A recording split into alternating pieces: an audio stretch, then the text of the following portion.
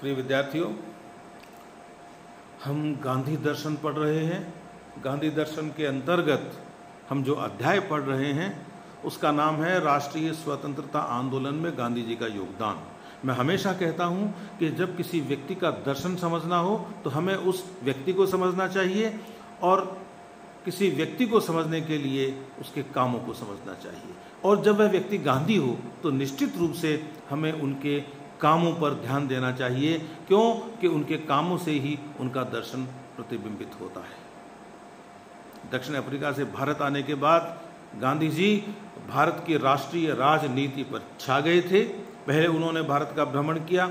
इसी क्रम में उन्होंने अहमदाबाद, चंपारण और खेड़ा इन तीन आंदोलनों को दिशा दी। उसके बाद उन्होंने असहयोग आंदोलन चलाया। फिर बाद में सविनय अवज्ञा आंदोलन चलाया। और असहयोग और सविनय अवज्ञा इन दोनों आंदोलनों को गांधी जी ने बीच में रोक दिया। कारण यह था कि वे ये मानते थे कि देश के लोग अभी एक बड़े अहिंसक आंदोलन में शामिल होने के लिए, भागीदार होने के लिए तैयार नहीं हुए हैं। मैं तो यह तक मानता हूँ कि गांधी जी ये सोचते थे कि लोग तो क्या अभी इस देश के नेता भी किसी अहिंसक आंदोलन का नेतृत्व करने के लिए तैयार नहीं हुए हैं, इसलिए आंदोलनों को बीच में रोकना पड़ता था। गांधी जी का यह मानना था कि हिंसा से हम अंग्रेज़ों को बाहर नहीं कर सकते इस देश से। गांधी इरविन समझौता परिणाम था सविनय अवज्ञा आंदोलन का, और इस समझौते के संदर्भ में लोगों को यह नाराज़गी तो थी ही कि गांधी जी ने आंदोलन तब रोक दिया जब आंदोलन अपने उफान पर जा रहा था, लेकिन लोगों को इस बात की भी नाराज़गी थी कि गांधी जी ने भगत सिंह, राजगुरु और सुखदेव की फांसी को टलवाने के लिए, फांसी को रुकवाने के लिए कोई प्रयास नहीं किए। गांधी जी ने प्रयास किए थे। ऐसे भी कुछ उदाहरण हमें देखने को मिलते हैं, लेकिन गांधी जी खुलकर ऐसी किसी भी गतिविधि का समर्थन नहीं कर सकते थे, जिसमें हिंसा की गई हो।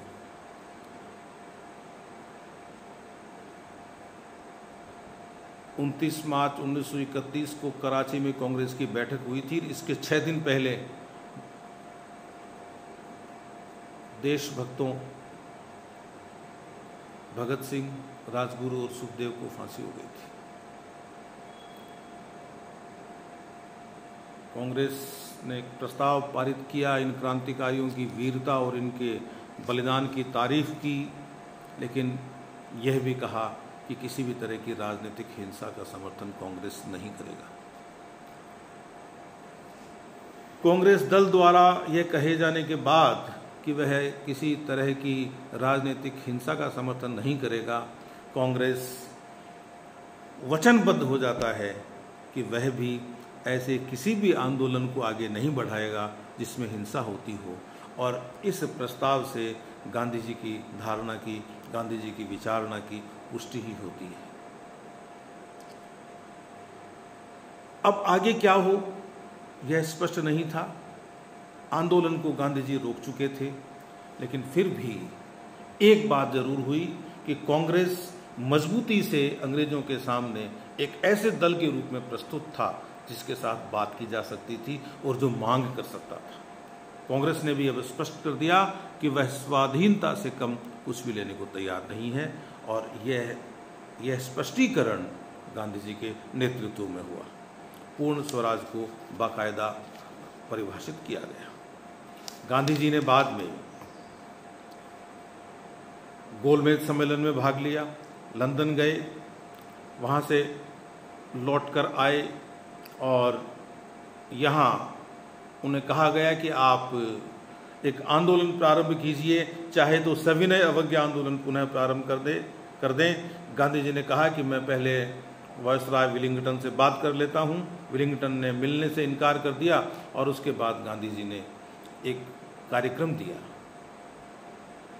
वह कार्यक्रम वैसा ही था, जैसा असहयोग और सविनय अवज्ञा, जैसा असहयोग और सविनय अवज्ञा कार्यक्रम था।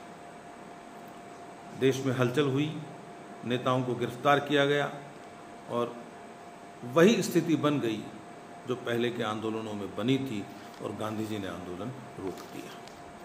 यह सब होता रहा, चलता रहा। उसके बाद में क्या किया जाए?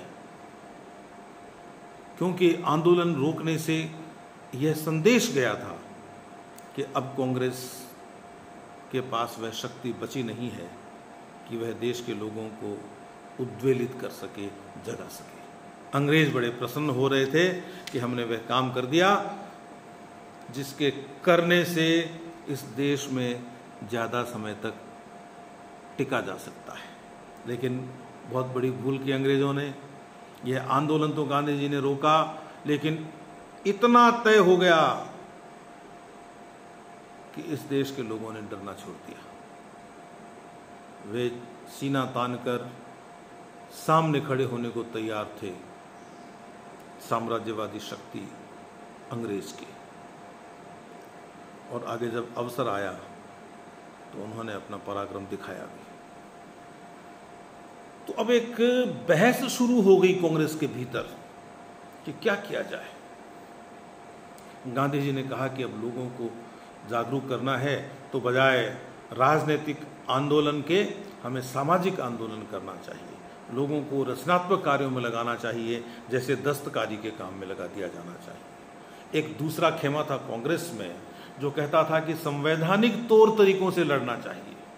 1934 में सेंट्रल लेजिस्लेटिव असेंबली के लिए चुनाव होने वाले थे और एक वर्ग कांग्रेस का, जिसमें doctor M A Ansari, Asif Ali, Satyamurti Bhulabhai Desai Bidhan Chandra राय जैसे लोग थे, जिन्होंने कहा कि भाई, हमें इस समय चुनाव में भाग लेकर और मंत्रिमंडल में घुसना चाहिए और वहाँ विरोध करना चाहिए। राजगोपालाचारी जैसे लोग, जो जो नो चेंजर्स समूह के माने जाते थे, उन्होंने भी कहा कि हाँ भाई, हमें सत्ता में भागीदार होना चाहिए, चुनाव लड़ना चाहिए, लेकिन हमारी जो भी गतिविधि हो, वो कांग्रेस कार्य समिति के माध्यम से।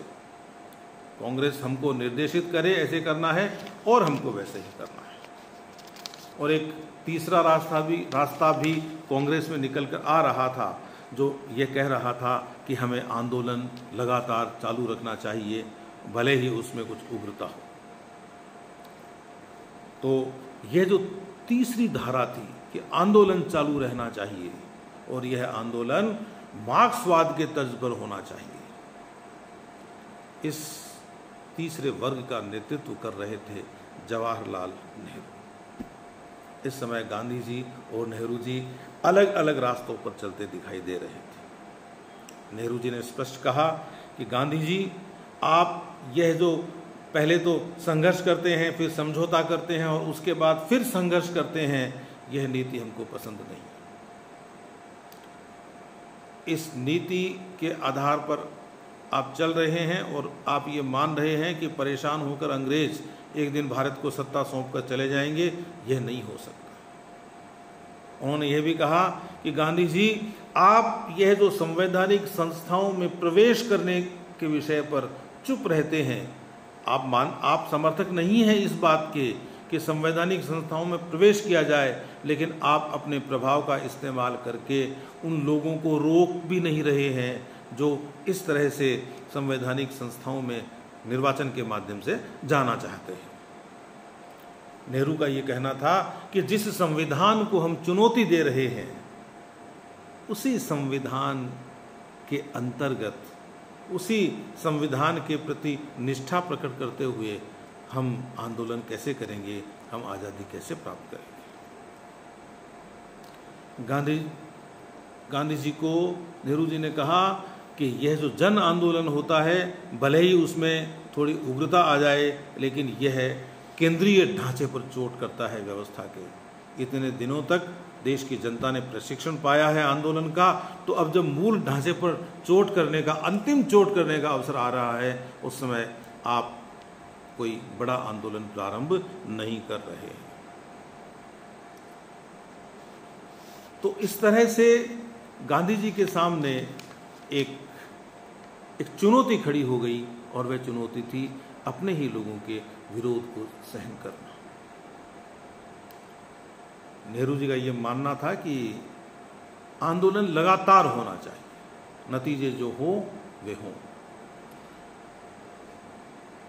स्थिति यह तक बन गई थी कि अंग्रेज़ मानने लगे थे कि अब कांग्रेस में विभाजन हो जाए लेकिन गांधी जी ने कांग्रेस को टूटने से बचा लिया। पहले तो उन्होंने जो संविधानवादी लोग थे, जो व्यवस्था के भीतर घुसकर व्यवस्था से लड़ना चाहते थे, उनको अनुमति दे दी कि आप चुनाव लड़िए और आप विधानमंडलों में विधानमंडल में प्रवेश कर जाइए। यदि आप संसदीय राजनीति के माध्यम से सक्रिय रहना चाहते हैं तो रहें जब गांधी जी से कहा गया कि आप ऐसा क्यों कर रहे हैं? हम जिस संविधान का विरोध करते हैं, उसी संविधान के अधीन रहकर आज़ादी कैसे प्राप्त करेंगे?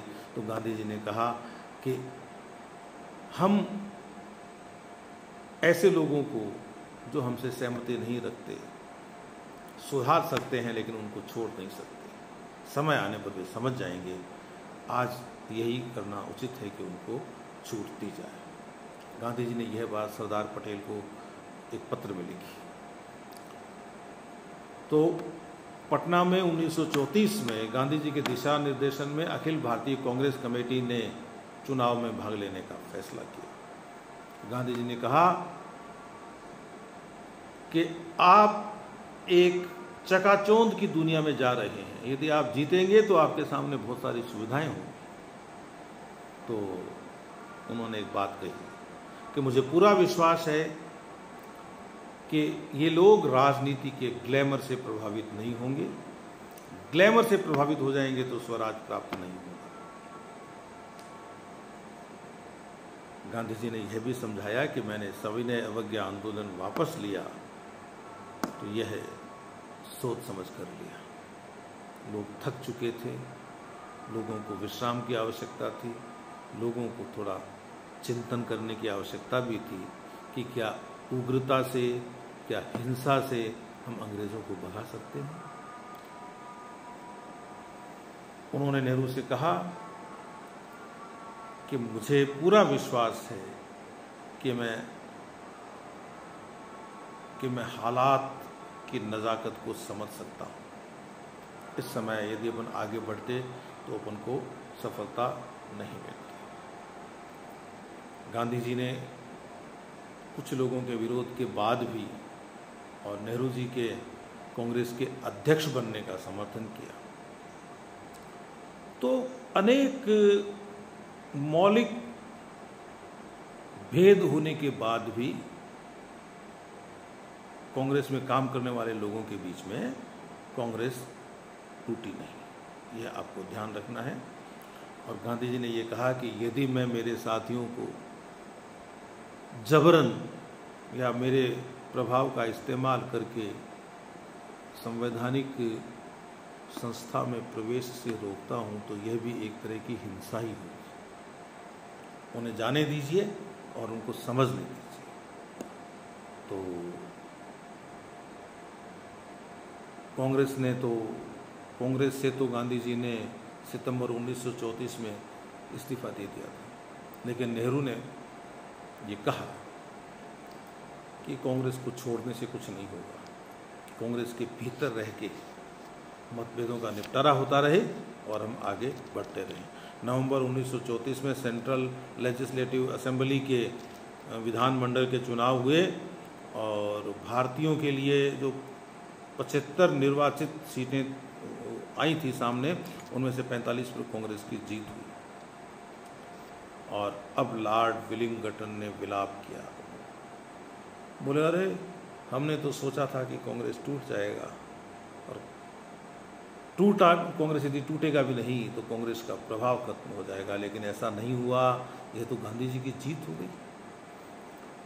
इस तरह से बाद में अंग्रेज़ों ने पूरे परिदृश्य पर विचार किया और 1935 का अधिनियम लेकर आए। उन्होंने यह सोचा कि यह जो अपन अधिनियम लेकर आए हैं, इस अधिनियम के तहत विभिन्न प्रांतों में विधानमंडल बनेंगे और इससे प्रांतों में कांग्रेस के क्षत्रप खड़े हो जाएँगे और केंद्रीय स्तर पर कांग्रेस टूट जाएगा और यदि उसके बाद भी कोई दम रहेगा आंदोलन में तो उसको अपन कुचल देंगे। तो अगस्त 1935 में गवर्नमेंट ऑफ़ इंडिया एक्ट आया। उसमें जो वयस्क व्यक्ति हैं देश के, उनके छठे हिस्से को ही मतदान का अधिकार था। जो प्रतिरक्षा का विभाग है, जो विदेश का विभाग है, वह विभाग इस संघीय विधायिका से बाहर था। उस मामले में कुछ नहीं हो सकता था।